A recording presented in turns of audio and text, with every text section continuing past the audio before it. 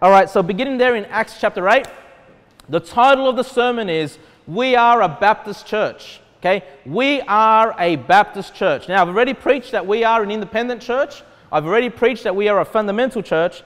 Today I'm preaching that we are a Baptist church, okay? When you look at our church name, the church in Caloundra, in our logo, underneath that it says Independent, Fundamental, Baptist. And I didn't just put those words because I'm part of some denomination called the Independent Fundamental Baptist. Each of those words represents some truth that I want this church to represent, okay? So today we're talking about the Baptist church. Why are we a Baptist church?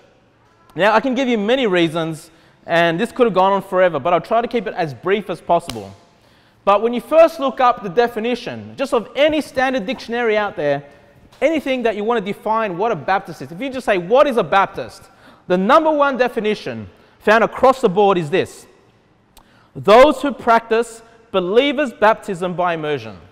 Okay? Those who practice believers' baptism by immersion. Now, that should say a couple of things to you straight away. First of all, the baptism we practice is not sprinkling, right? The baptism we practice is not pouring. The baptism we practice is taking someone and dunking them out of, under the water, okay? By immersion or submersion. That's what we teach, right? We teach that baptism is by immersion. But the other thing is, it's believers' baptism, okay? So before someone is, is, is baptized, they have to be a believer. They have to be someone that's trusted on the Lord Jesus Christ, that's put their belief, their faith solely upon Jesus Christ, and these people are allowed to be baptized. And by implication, what does that mean? That means we don't practice infant baptism, right? We don't practice baby baptism. Why? Because a baby cannot believe. All right? A baby cannot put their faith on Jesus Christ because they're not old enough to comprehend the, the, the gospel. Okay, so that's a couple of things. Just by its definition, it, it, already eliminates many of the denominations out there. Okay, it's baptism by immersion, it's baptism for a believer. That means that the baptism they're doing is that we do is nothing but a symbol. Okay, because the person's already a believer, the person's already saved, meaning that the baptism they, they do does not uh, is not required for their salvation, right? Like there are many uh, denominations out there, there are many churches out there that will teach you that baptism is a necessary part of their salvation. Whereas we say, no, it's not part of your salvation. Your salvation is purely based upon putting your faith on Jesus Christ, and baptism is just symbolic, right? It's just symbolic of what's already taken place in your heart, you know, that you've put your faith on Jesus Christ. You know, the same way as my wedding ring, you know, is a symbol that I'm married, right? Now, whether that wedding ring is on my finger or whether it's off my finger, it doesn't change the fact that I'm married, right? If we lose our marriage certificate, that doesn't change anything. We're still married, my wife and I, we're still married. So whether that, that, that's on my finger or not, in fact, usually when I'm home, I don't wear my wedding ring because I don't like having jewelry on my hands, right? But usually when I'm out and about, I will put on my wedding ring, okay? It doesn't, doesn't mean that I'm, that I'm married and then I'm not married when I take it on and off. It's just a symbol of what's already taken place. And so baptism is just a symbol of what's already taking place when you put your faith on Jesus Christ. So just, just a definition of what a Baptist is. We are a Baptist church, okay? We are a Baptist church. Now, when we look at Acts chapter 8, if you're still there, look at verse number 12. Acts 8, verse 12. It says, And when they believed, Philip preaching the things concerning the kingdom of God and the name of Jesus Christ, they were baptized, both men and women. So we see immediately that someone that believes is then baptized. Okay, once they've believed on Jesus Christ, they are baptized. And then look at verse number 36, the story of the, of, uh, the, um, the eunuch from Ethiopia, verse 36. And when they went on their way, they came unto a certain water, and the eunuch said, See, here is water. What doth hinder me to be baptized? What do I need before I can baptize? Is there anything stopping me from being baptized? Verse 37 And Philip said, If thou believest with all thine heart, thou mayest. So the condition was believing on Jesus Christ, and then you're allowed, right? And he answered and said, I believe that Jesus Christ is the Son of God. So there he's expressing, he's confessing his faith on Jesus Christ. So just to reinforce the fact that baptism is required after you believe on Jesus Christ, not before. It's not part of your salvation. Okay, verse 36, sorry, verse 30, uh, verse 30, yeah, 36. And as they went on their way, they came unto a certain water, and the eunuch said, See, here is water. What doth I already read that bit, sorry, what doth hinder me to be baptized? And Philip said, If thou believest with all thy heart, thou mayest. And he answered that I believe in the Lord Jesus, uh, that I believe that Jesus Christ is the Son of God. And he commanded the chariot to stand still. And they went down both into the water, both Philip and the eunuch, and he baptized him. Right? And when they were come out of the water, the Spirit of the Lord caught away Philip, and the eunuch saw him no more, and went on his way rejoicing. So, just to show you that it was a baptism not by sprinkling or pouring, but by immersion. They went into the water and they came out of the water. Okay? And again, I've, I've taught on baptism before. I don't want to rehash my sermon. I only preached on that a couple of weeks ago. Uh, but just to reinforce those facts, that baptism is by immersion for believers. Romans chapter 6, verse 3 to 4. Know ye not that so many of us, as were baptized into Jesus Christ, were baptized into his death? Therefore, we are buried by him, with him, by baptism into death, that we, as Christ was raised up from the dead by the glory of God, even so we also should walk in newness of life. So, again, baptism represents the death, the burial, and resurrection of Jesus Christ, which is why we practice baptism by immersion, right? Again, I don't want to rehash the sermon that I've already preached, but just to reinforce those basic truths, that's what makes us a Baptist.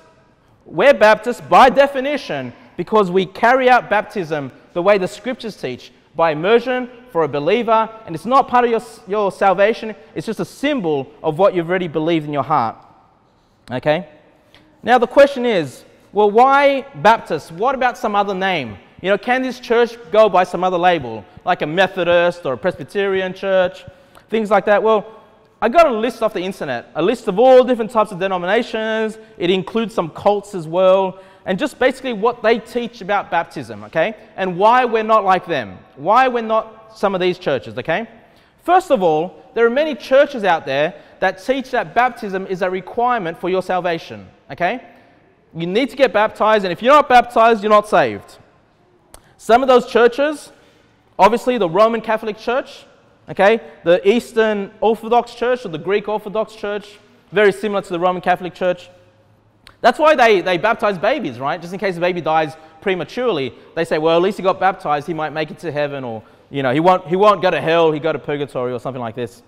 There's the Christadelphians. They believe in baptismal regeneration. The Mormons believe you need to be baptized. And that's why the Mormons even baptize for the dead, right? They baptize for the, for the dead relatives that didn't get baptized. They get baptized on their behalf because they think that's going to get them to heaven. There's the community churches, I'm not that familiar with them, Disciples of Christ, the Four Square Gospel Church. Um, I had friends that went to that church, I didn't know they believe this. Uh, Grace Communion International, uh, the Jehovah Witnesses believe you need to be baptized for salvation. Well, the Jehovah Witnesses believe that that's part of your salvation. You got to just keep going. Like, you know, that doesn't seal the deal, but you need to do that, otherwise, you won't make it. Um, the Lutherans believe in baptismal regeneration the Methodists and the Wesley, Wesleyans, um, the Metropolitan Community Churches, the Nazarenes, the Oneness Pentecostals, the, the Standard Pentecostals, well, it varies from church to church. Some do, some don't believe that baptism, water baptism is required for salvation. And the vineyard churches, the vineyard churches. Uh, some of the other churches that believe in baptismal regeneration that were, were on this list but I'm not sure if these are accurate because I know some people from this. First of all, is the Church of England or Anglican, right? Um, the, the list said most of them believe that, okay? Um, that, that could be true maybe in England, I don't know. But my experience with Church of England, my experience with Anglican, um, is that many of them do not believe you need to be baptized. In fact, if I go, if I go back to Sydney, in all, my, all the soul winning that I was doing door to door, most of the people that I saw saved, already saved, were actually Anglicans. So I'm not sure if maybe there's a bit of a difference here in Australia. I mean, they knew it was by faith alone. They knew it wasn't by baptism. They knew it's eternal security. They could never lose it. Uh, many of them, actually. Uh, so I'm not sure. I even grew up going to, in my public school, my primary school. I grew up going to an Anglican scripture class. And I remember very clearly being taught salvation by faith alone and nothing else. Just very clearly being taught that as a child. Um, and, but the ladies that were doing the class, they were also involved in my local Baptist Union church. So I'm not sure if maybe they, they had a bit of Baptist stuff rubbed into them as well. So I don't know. Um, the other church were the Brethren Church. Um, on this list, they said they believe in baptismal regeneration. But again, the, the few brethren that I do know, or ex brethren I do know, didn't believe that. They believed that it was by faith alone. And Churches of Christ Many of them, and again, churches of Christ, it depends on the church. Some of them do, some of them don't believe in baptism regeneration, but I think most of them do. Okay, so that's why we're not part of those churches, all right? That's why I would not fellowship with those churches because they add works to salvation. Okay, we're not part of that group. Then, if we move away from there and we say, well, these are other churches that um, don't believe in baptism regeneration. They don't believe you need to be baptized to be saved. But what they do is they baptize infants instead, right? They baptize infant, infants. And we don't baptize infant, infants because we believe in believers' baptism. You have to believe before you get baptized. Some of these other churches are the United Church of Christ um, uh, and the Presbyterian Church. Okay? They don't believe that it gets you saved, but they believe in child baptism because they, they link it somehow to circumcision, you know, child circumcision. Um, and then you've got your modern day Anabaptists. Your modern day Anabaptists, they do sprinkling. Okay, they do immersion as well, but they also do sprinkling, so we're not a modern day Anabaptists. And then we're left with a few churches, right? We're left with the Baptist. So now these are churches that believe it's not for your salvation, they believe it's for believers only, and they believe it's by immersion. Okay? So we're left with Baptists, which what we are, Calvary Chapel, but I reject Calvary Chapel because they basically they, they hold on to the charismatic teachings of the tongues movement and you know speaking in tongues and the different Holy Spirit gifts and things like that. Um, so I mean I reject that. There's the Christian Missionary Alliance, never heard of them. Evangelical Free Church, never heard of them. You've got the Seventh day Adventists, but again, I don't know if this is true because the Seventh day Adventists that I've met did say they believed baptism was for salvation. So I'm not sure if this list is pure, you know, 100% accurate or not and then the United Church of God. Um, now, the reason why we're not a United Church of God is because they believe in binary, uh, binitarianism, binitarianism. Instead of being a Trinitarian church, they believe only the Father and Jesus Christ are persons, right? And that the Holy Spirit is just this power, right? It's this impersonal power, this impersonal force. So we're not, we're not them either. So you can see, once you, once you break it down just on, on how people practice baptism, there's very few churches left and we're Baptists. Okay, we're Baptists because we baptize the way we do. But there's more to it than just that. There's more to it than just how we baptize. There are some hallmarks to a Baptist church. Okay, so let me just go through the hallmarks of a Baptist church. Number one, churches are organized by other churches. Okay, so a church begets another church. Okay, you can't just get a group of buddies together and say, hey, let's just have a Baptist church. That's not how Baptists do it, right? Baptists um, ordain, send out, you know, they organize a church, churches beget churches. And the idea of that comes from Genesis chapter 1, verse 25. I'll just read it to you. And God made the beasts of the earth after his kind, and cattle after their kind, and everything that creepeth upon the earth after his kind. And God saw that it was good. So it's talking about creation, right? When God created the animals, when God created the grass and the trees, and God created uh, human beings, He made sure that they could, uh, um, that they could reproduce after their kind. That's a basic Bible principle, right? And so we take that same approach, and God saw, God saw that it was good. So it's a good thing for a, a type of something to reproduce after its kind. Christians reproduce Christians. We go soul winning, we get people saved. That's the fruit of the Christians getting people saved. The fruit of a church is starting other churches, starting other churches. So that's hallmark number one. Churches are organized by other churches. Hallmark number two is that there are, the churches hold to two offices the office of the deacon and the office of a bishop. Okay? So 1 Timothy chapter 3, verse 1 says, This is the true saying. If a man desire the office of a bishop, he desire for good work. So I'm, I'm a bishop, you know, I, I have the office of a bishop, the pastor of this church. And then 1 Timothy chapter 3, verse 10 says, And let these also first be proved, then let them also use the office of a deacon, being found blameless. So in the Bible, there are two offices the office of a bishop. Boys, boys, stop it. Office of a bishop and the office of a deacon. Okay? Two offices held in the church, local church. Yeah, the third hallmark is there's two ordinances. The first ordinance is water baptism, which we've done. The second one being the Lord's table, which is the breaking of bread and the drinking of the wine or the grape juice. Okay, we haven't done that just yet, but I do plan on doing that in the near future. So there's two ordinances the church believes in the water baptism and the breaking of bread. And both of those ordinances have to do with the death, burial, and resurrection of Christ, right? The baptism and then the breaking of bread that represents his broken body, and the grape juice representing the blood that was shed for us on Calvary. Number four, the fourth hallmark is that they're independent churches, self governing churches. You know, there's not one church above another church. We've spoken about this already, why we're an independent church, right? I won't recover that, but basically, we have Christ as our head, and we're not governed by some other organization or some other church. Number five, church is made for saved believers. Okay, saved members. Churches are made up of saved members. It's not a free for all church for everybody. Anyone, uh, look, anyone's welcome. All visitors are welcome, but we don't tailor the church for the world.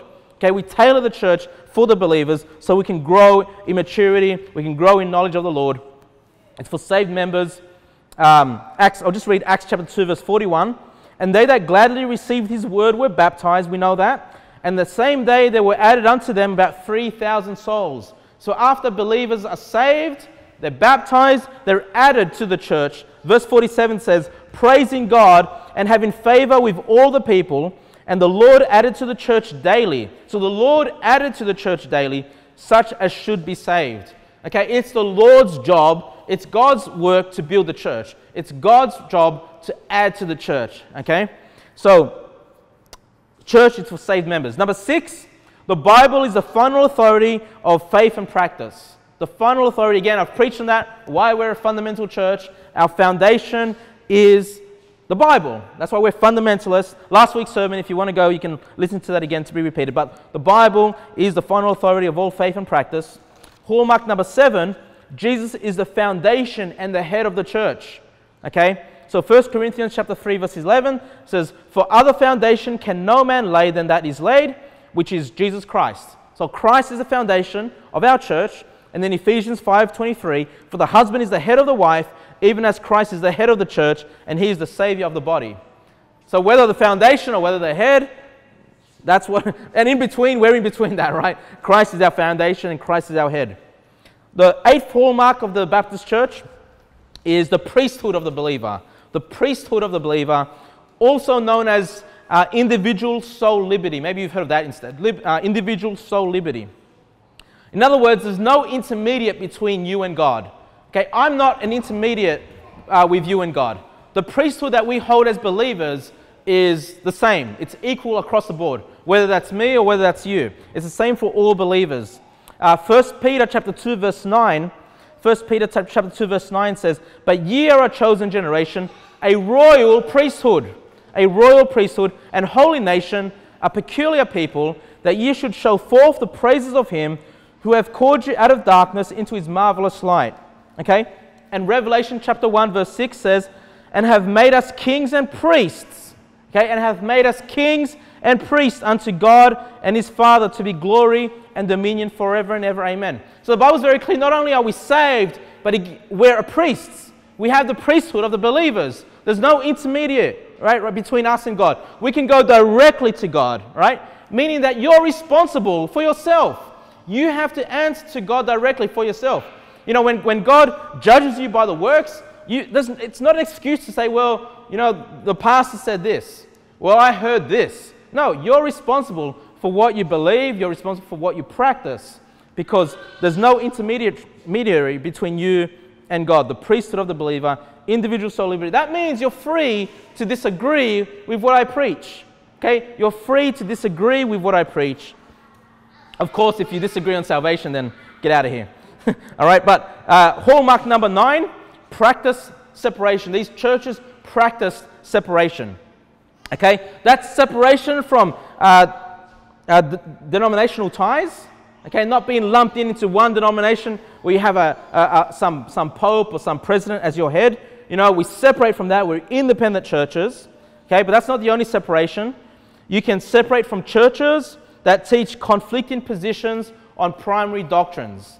Okay, now if we one day fellowship with a church, but we find that they're um, teaching heresy on primary doctrines, right, things that matter like on salvation, on, on the deity of Christ, they start preaching some other heresy like that, we ought to separate ourselves from those churches, okay? We need to make sure that the doctrine in this church remains as pure, as humanely possible, at least, you know, with the power of God. Uh, so, Romans chapter 16, verse 17. Romans chapter 16, verse 17 says, Now I beseech you, brethren, mark them which cause division and offenses contrary to the doctrine which ye have learned, and avoid them.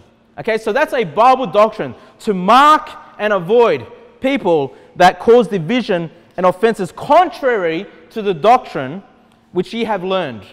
Okay, now some people misapply this. Some people misapply and they say, well, you know, um, I'm marking people that are contrary to the things that were taught in church. No, it's contrary to the doctrine which ye have learned. Where do we learn our doctrine? From the pastor? No, it's from the book. Okay, it's from the book. So the separation ought to come from the Bible. If they're, they're teaching heresy, we ought to separate ourselves, mark and avoid preachers that preach heresy. Okay? But also, we ought to also separate ourselves from believers that are in serious sin, believers that are in serious sin. 1 Corinthians chapter 5, verse 11. 1 Corinthians chapter 5, verse 11. I'll get you to turn there. 1 Corinthians chapter 5. I'll get you to turn there. 1 Corinthians chapter 5, verse 11. Says, But now I have written unto you not to keep company if any man that is called a brother, okay, so this is a believer, someone that's been in the church faithfully for a long time, someone that's mature, that we say, hey, that's a brother in Christ. Uh, if they be a fornicator or covetous or an idolater or a railer or a drunkard or an extortioner, six things I counted there, with such and one know not to eat. Okay, so there are, if there are believers in this church that are doing these gross sins, right, these are things that you might think, oh, they're not that serious. But in God's eyes, they're serious. In God's eyes, they hurt a church. And if there's believers like this, it's my job to kick them out. Okay? It's my job to kick them out. Now, I'll, I'll, be, I'll, be, I'll be kind as possible. I'll bring up that thing to their attention and see, you know, whether they can be repentant and turn from those things, and then they'll be accepted in the church. But if they're not repentant, they continue in the same sins, hey, we need to separate from those believers why? Because we hate them? No, just so they can get right, so they can be disciplined, right? And realize, hey, I'm doing wrong, and they need to get themselves right with the Lord. So we practice separation. That's, that's point number nine. And the tenth hallmark of a Baptist church is the separation of church and state. The separation of church and state. What that means is that the government is a separate institution to the church. Okay? The government is a separate institution from the church. Okay? We don't want to cause our government, we don't want to control the government as a church, right? We don't want to cause the government to force people to choose Christianity. And that's a problem in the past. With the Roman Catholic Church, they had authority over kings and they would kill believers. They'd kill people that were trying to translate the Word of God into the common tongue, right? But it's not just the Roman Catholic Church that made this error, it was Protestants. Certain Protestants took power in government, and again, they persecuted and killed Baptists. Protestants in the past killed Baptists, right? That's the problem when you mix these institutions which don't belong together. Churches are not to have authority in government, okay? Number one, I mean, why, do we, why would you want to force people into Christianity anyway? You're going to get false converts, and salvation is a personal choice. People have the free will whether to accept or reject Jesus Christ. Okay? So government should not be run by a church, but a government should uphold the laws of God. So, it's still right for us to preach the laws of God and expect our government to uphold the, the laws of God, but it's not the church's responsibility to become the government, right? That's where you get into problems. So these are 10 hallmarks of a Baptist church. Okay, not just baptism, but these are other things that identify a Baptist church. Okay, now moving on to a bit of history. Okay, a bit of history. Uh, look, I'm not that big on church history. I don't really spend a lot of time studying it, but I did obviously want to get a good feel of, of the Baptist history. And if I'm going to take that name, I'm going to take that label for the church, I obviously want to know what that means historically as well. Okay? Now, just to give you some ideas, Acts 11, verse 26, if you can turn there, Acts 11, 26. Acts 11, 26. I'll give you a moment to turn there. Acts 11, 26. Acts 11:26 says, "And when he had found them, sorry, and when he had found him, he brought him unto Antioch, and it came to pass that a whole year they assembled themselves with the church and taught much people, and the disciples were called Christians first in Antioch." Okay, and the disciples were called Christians first in Antioch. I just want to show you that Christ did not call his disciples Christians. Okay? We're not called Christians because that's what God said we need to call ourselves. Okay? Now, these believers, they were called Christians later. Once Christ had resurrected, once the churches had spread out and been, had started, the preaching of the Word of God was going out throughout the whole world. Others called them Christians. Prior to this, they were just called believers, they were just called disciples, they were just called the church. Some people called them the Nazarenes, some people called them the Galileans. But was, this was the first time people started calling these believers, calling us, believers like us, Christians. Okay, so a lot of these labels come from other people, not labels that were that came up within the church themselves, right? These are labels given by other people. They were called Christians first in Antioch.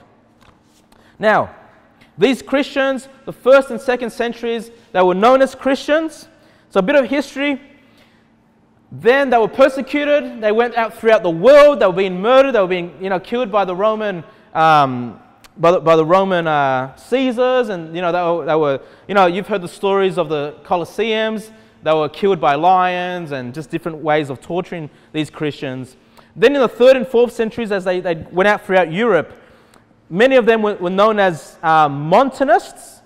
And, and other groups that had spread in other areas were called Nova, Novatians. Novatians and Montanists in the third and fourth centuries, approximately. Okay? And then in the fifth and sixth centuries, they were known as Donatists and Anabaptists. Okay, Anabaptists. Okay, this is the first time that label Baptist really starts to pop up in history. And by Anabaptists, the reason they were called Anabaptists is because they were known as rebaptizers. Because, of course, the Roman Catholic Church were baptizing babies, the Orthodox Church were baptizing babies, and these these believers would come along and say, well, no, that's an invalid baptism. You know, you need to be baptized by immersion, you need to be a believer first and then be baptized. And so they were called by others the Anabaptists, the rebaptizers, right? And, and throughout, this, throughout this time, many of these Anabaptists were, were killed. Some of them were, were, were drowned, right? They're like, well, if you want to be baptized by immersion, you know, they were, they were drowned in, the, in, in water because that's, you know, the Anabaptists, that's what they want to do. And, uh, you know, Christians throughout this time period were, were persecuted, not just by the Roman Catholic Church, but also by, by also by uh, Protestants. Okay? And then in the 7th to the 12th centuries, they were known as Paulicians, right? Because they were teaching from the New Testament, and much of the New Testament was written by Paul. Uh, the term Anabaptist continued. Uh, then the 13th to the 15th centuries, they were known as the Albigenses, the Waldenses. I think the Waldenses were in, in Germany from memory. And again, the name Anabaptist remained till that time. And then in the 6th century, that's where Baptists, the name Baptist really started to take root. Okay, they dropped that word Ana and they were called just the Baptist, the 6th century till today. Okay, so the, the thought is that throughout church history, there were always believers like us. There were always churches that were independent. There were always churches that believed salvation by faith alone. There were always churches that believed baptism by immersion as a sign of what, of what you had believed. And, you know, the idea is that, you know, to this day, Baptists, that's what Baptists is sup- supposed to represent. Baptists are not Protestants. Baptists are not Protestants. The Protestant movement started also in the 16th century, and they were churches that protested against Roman Catholicism churches that protested against Roman Catholicism, so like you know the Presbyterians, the um, the uh, what else, the Methodists, you know, churches like that. They're Protestants. Okay, so Baptists are not Protestants, but often in these days, Baptists will be lumped in as Protestants by, by many people, okay? But I just want you to know it did not follow that line. It did not follow the lineage of the Protestant movement. They, they, they were always independent churches, which is why we remain independent today. Okay, now, the name of a church. The name of a church. Most Baptist churches are named something Baptist Church, okay? Now, a lot of the, the first Baptist churches in Australia, you know, they took on the name of the, the suburb or the city they lived in. So they might be like the, like the Baptist Union Church that I grew up in was Cabramatta Baptist Church because the suburb was Cabramatta. A lot of the Union churches are named by the suburb. And then uh, many of the independent Baptists, they came out of the Southern Baptists in the United States. They started to separate because of, of um, you know, being relaxed on the, on the Bible, um, being very liberal in their teachings, not taking the Bible seriously. The independent Baptist churches are often named by some, some type of word in the Bible, like Faith Baptist Church or Victory Baptist Church or something like that. You know, for, for a while I, I thought of Blessed Assurance Baptist Church for the name of this church, Blessed Assurance, because, you know, people are so confused about eternal security. You know, that's something I wanted to reinforce. But, you know, there are, you know, we're called the church in Caloundra. And that might sound like really new and unique, but really it's not. You know, there are independent Baptist churches in Australia that don't have the name Baptist in it already. You know, I looked them up. You know, you might have such and such Bible church. Instead of Baptist church, there's such and such Bible church, or such and such community church, or such and such people's church, or such and such fellowship. Even in Adelaide, I don't know if you know this, but in Adelaide, there's an independent Baptist church called Church for You. like literally church, and then the, number four, and then the letter U. church for You. It's very radical in, in the way they name their church. But the reason why I went with the church in Caloundra um, and not such and such Baptist church, number one, obviously I was sent by the church in Punchbowl, okay? Well, maybe that's not number one reason, but that's one of the reasons, okay? And uh, when I heard about it, I, I liked it. I love the fact that, hey, you know, the churches in the New Testament are known like that. You know, they, they, that's the naming convention. I'm not saying that was their registered government name or their charity name, right? But that's what they were labeled. That's what they were known as. You know, let me give you some examples. You know, obviously the seven churches in, in Revelation, right? The church in Ephesus, the church in Smyrna, the church in Pergamos, the church in Thyatira, the church in Sardis, the church in Philadelphia, the church of the Laodiceans. Okay, the seven churches in the book of Revelation. But also throughout your Bible, you're going to find other ones. The church which was, the church which is in Jerusalem, the church which was at Antioch, the church of the Thessalonians, the church of the Cretans, the church at Cenchrea. Just some other labels, names that you'll see in the Bible. Okay? Some other interesting things. Israel in the Old Testament, what were they called in the New Testament? The church in the wilderness, right? The church in the wilderness. And the future church to come believers, when they gathered up in heaven, the Bible refers to that as the church of the firstborn. church of the firstborn. So I like the idea hey, you know what? Yes, we're a Baptist church, you know, and yes, I do in a, in a way honor the history, all right, and, you know, somewhat the tradition of the Baptist. You know, not all tradition is bad as long as it's not wrong and sinful or anti biblical, right? I, I, I do honor the past, right? But more importantly than looking at the history, I wanted to look at the New Testament and say, hey, we want to be a church that's patterned after the New, New Testament churches. And I love the idea of having the church in Caloundra because that just reinf- that fo- puts our focus back on the New Testament church, okay? Because I'll tell you what, there are people out there, there are people out there that are so Baptist, right? I, I think they're more Baptist than they're believers, right? They're so uh, taken with the history, taken with past Baptist preachers, you know, instead of, uh, you know, they might get behind a pulpit and instead of preaching the Bible, they'll preach comments from their favorite Baptist preacher in the past and stories of their famous Baptists. They're just like the Protestants. The Protestants love to go back to their John Calvins and back to their, uh, you know, um, I don't know, John Knoxes and their, uh, who's the guy that's, that, that hammered the thesis on the Luther? They love to go back to their, you know, Luther. In fact, just you know, when I was with Michael, we went so I mentioned this, this, this pastor that we, you know, that we preached to. And Michael asked the question, do you believe in eternal security? Do you believe that we can never lose our salvation? And you know what his response was? He didn't go back to the Bible. He said, well, Wesley believed in once saved, always saved. Uh, but Calvin believed in eternal security. Or something, I don't know if I mixed them up. Something like that. I'm like, what? what? is that how you base your, your, your doctrine? Is that, you know, going back to these men of old? But you know, independent Baptists do the same thing. They love to go back to their Spurgeons, the Charles Spurgeons, or their, I don't know, even, even good men like, like John R. Rice, Rice, John Rice, and is it John Rice? I can't remember. Um, and uh, the Jack Hyles, they love to go back, what these men said and what they preached, right? Hey, okay, you know, they might have done good works, but they're gone now. It's up to you now. You need to get back into the Bible and, and preach and, and try to try to better than them. You know, try to be better. Try to do more for the Lord than what these people did in the past.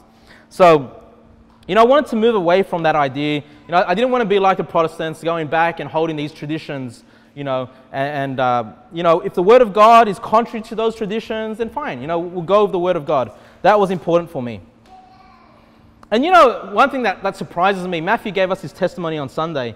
Um, I thought all Baptists baptized by immersion. But his testimony said he went to a Baptist church and he was, he was sprinkled as a baby. Is that right? I mean, I, I didn't even know Baptists did that. So the, the, label Baptist just seems to be losing its, you know, losing its importance anyway. But I do believe, you know, we do stand for what, what, what traditional baptism stood for. Why? Because it's biblical, the biblical uh, practice of baptism. Um, so, yeah, we're the church in Caloundra.